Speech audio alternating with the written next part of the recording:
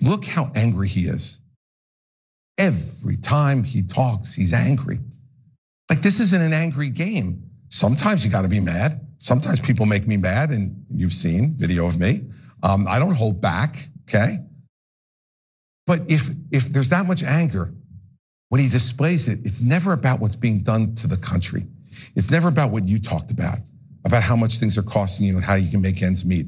It's not about that inner city kids aren't getting a great education. It's not about that there's crime over the streets. It's about what's been done to him, poor me, victim me. Well, I don't think either one of those people are appropriate to be president. As I said off the top, that's why I'm running. There is not, if those two are the candidates, I don't believe that there's a winning alternative for America.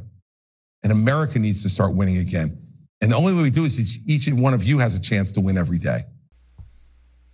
That's the sort of attack by Chris Christie that probably seems to make sense at first glance. It seems like you are pitching Donald Trump as vengeful and emotional, wild, reckless. That seems like a good thing.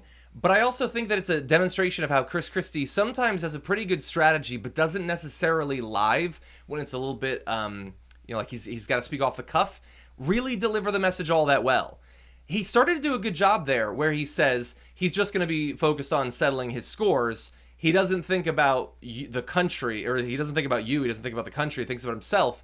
But he didn't focus enough on that.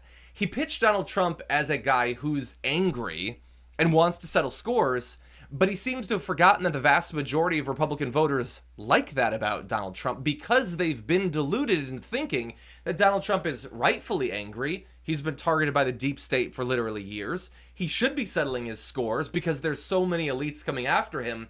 You need to also diffuse that. And I think that there are a couple of ways that Chris Christie could have done that, could do that in the future to really improve that answer. So, First of all, he's got more personal experience with Donald Trump than any of these other contenders who are theoretically trying to take down Donald Trump. He could use that.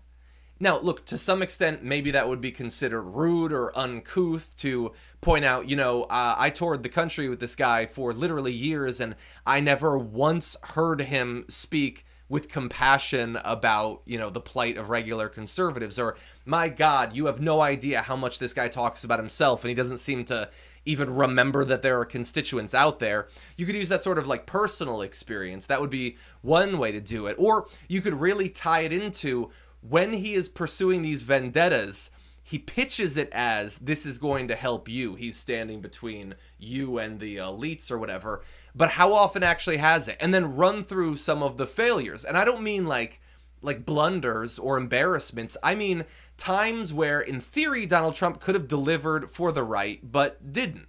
That he did not deliver during his presidency on getting an immigration bill passed. That's something that Chris Christie talked about at a different point. That he didn't actually get the wall built and that maybe that's because he was feuding with Nancy Pelosi. That's because he was wrapped up in all this needless legal nonsense because he decided to do things like firing uh, James Comey and that sort of thing.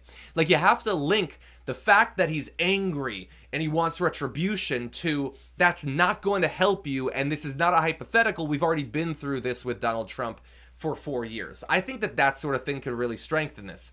Now, pitching him as like being angry in general and emotional definitely isn't enough because Republicans believe that being like full of anger is a good thing.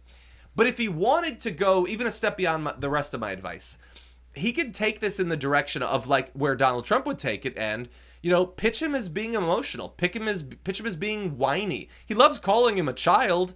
Tie the emotional outbursts into that. Like and, and it's not just a, a thing of the word choice. This is very much about are you mocking him? Are you condescending towards him? Are you trying to instill disdain for him in the audience? Now, norm, look, look, objectively, I hate that sort of thing in American politics. I think it's way too common.